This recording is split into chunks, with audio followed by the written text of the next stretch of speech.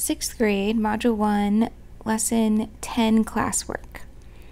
Exploratory challenge. Imagine that you are making a fruit salad. For every quart of blueberries you add, you would like to put in three quarts of strawberries. Create three ratio tables that show the amounts of blueberries and strawberries you would use if you needed to make fruit salad for greater numbers of people. Table 1 should contain amounts where you've added fewer than 10 quarts of blueberries to the salad. Table 2 should contain amounts of blueberries between and including 50, 10 and 50 quarts. Table 3 should contain amounts of blueberries greater than or equal to 100 quarts. Okay, so let's start with table 1. So we need to have added fewer than 10 quarts of blueberries to the salad. And let's go back to the original ratio. It's for every one quart of blueberries, you add three quarts of strawberries. So let's start with that. One quart of blueberries, three quarts of strawberries. Now we need to make this chart have fewer than 10 quarts of blueberries. So let's just do one, two, three, four, and five quarts. Now if we notice the relationship between one and three, it's for every one quart of blueberries is three strawberries. So we can just multiply by three.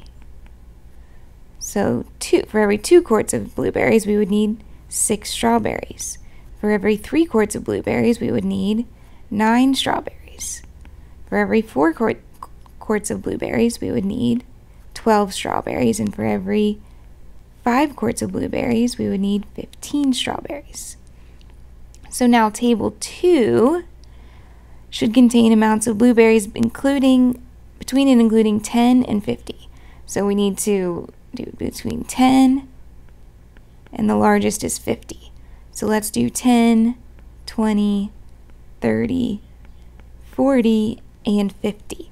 So again, the relationship does not change. We still have the same relationship. So we can just multiply by 3. 10 times 3, that would make 30 strawberries. Times 3, 20 times 3 would be 60 strawberries. 30 times 3 is 90 strawberries.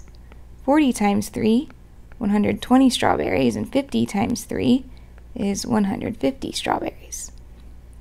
And then lastly, table 3 should contain amounts of blueberries greater than or equal to 100 quarts. Let's do so just anything greater than 100. Let's do 100, 200, 300, 400, and 500. Again, the relationship does not change, so it's still multiplying by 3. So for every 100 blueberries, we need 300 strawberries. For every 200 quarts of blueberries, we need 600 strawberries. And if we just continue down the chart until we have 500 blueberries and 1500 strawberries. A. Describe any patterns you see in the tables. Be specific in your descriptions. So, the main pattern that we saw is that the total number of strawberries is always three times greater than the number of blueberries. So, let's say the number of strawberries is three times greater than the number of blueberries.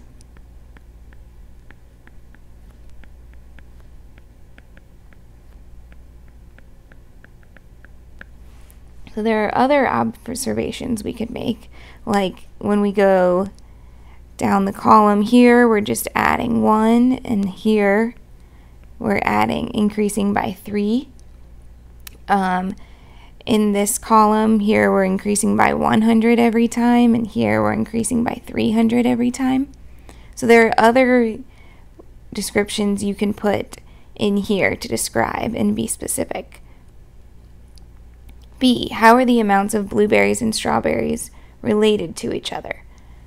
So, kind of like we said above, we can say that the number of blueberries or the number of strawberries is always three times greater than the number of blueberries. Let's say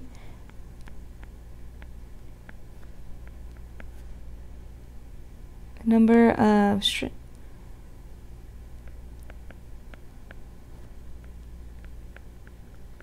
strawberries is always three times the amount of blueberries.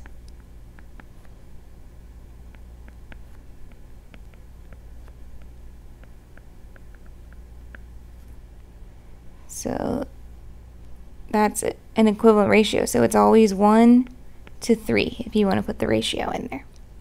C, how are the values in the blueberries column related to each other? So this, it varies based on what you put in your chart. So here we're in the first table, we were always increasing by 1 for the strawberries. In table 3, we were increasing by 100 to get the blueberries. In table 2, we increased by 10. So we can say table 1 increased by 1, table 2 increased by 10, and table 3 increased by 100.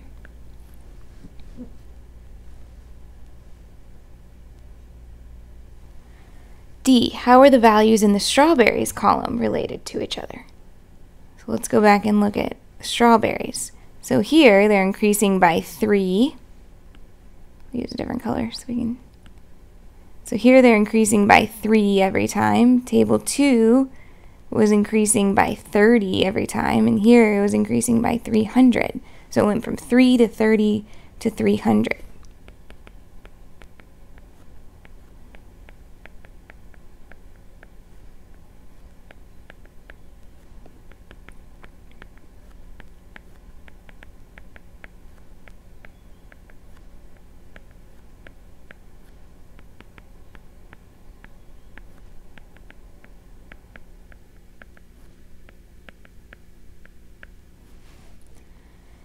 E. If we want to add 7 quarts of blueberries to the fruit salad in table 1, how can we use the table to help us determine how many strawberries to add? So it wants us to use the table. So one way we could do it is just extending the table. So if we had 6 strawberries, that would be 18, or 6 blueberries, that would be 18 strawberries. And if we had 7, that would be 21. So we can just say we could extend the table.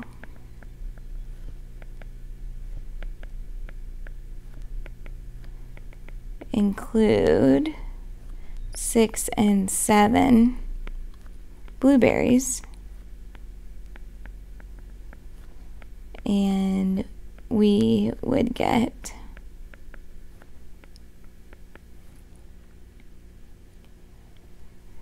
21 strawberries.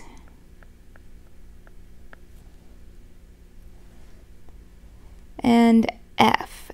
If we know we use 70 quarts of blueberries to make our salad, how can we use a ratio table to find out how many quarts of strawberries were used? So there's multiple ways to do this. Um, maybe you start with the 1 to 3 ratio.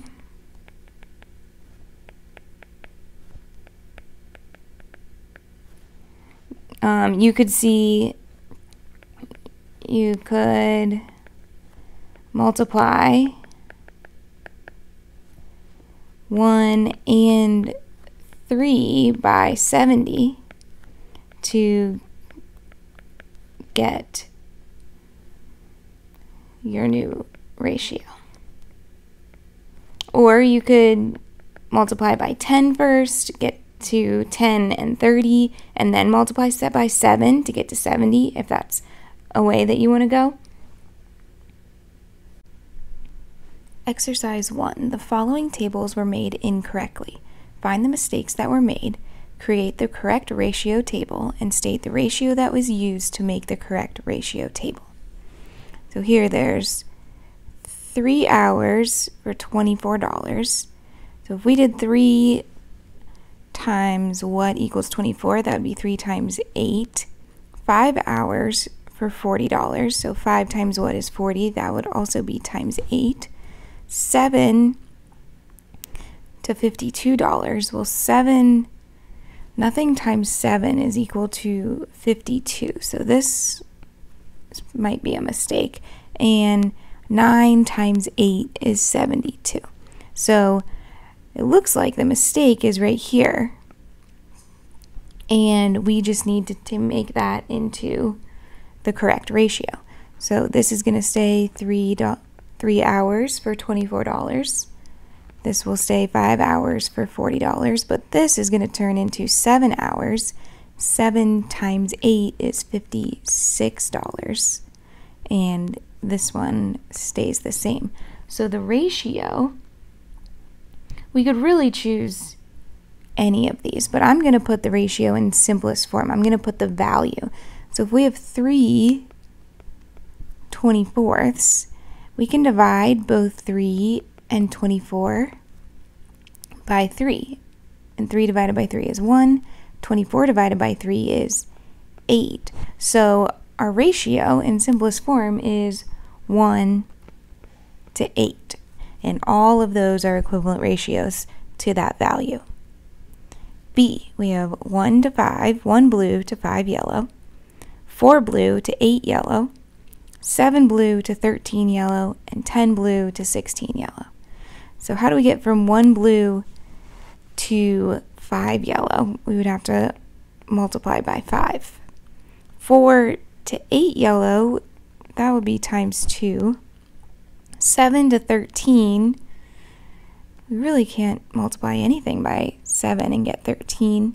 And then same with 10 and 16, nothing times 10 whole number wise is going to get us 16. So these are all different ratios. So let's stick with this first one. If we have one blue, we'll have five yellow. And then if we had four blue times five, that would give us 20 yellow. If we had seven blue times five, that would give us 35 yellow. And 10 blue times 5 would give us 50 yellow. So our ratio, we have 1 to 5, and 1, 1 to 5 can't be reduced any smaller because if the numerator is already 1, we can't not we cannot make that any smaller. So our ratio is 1 to 5.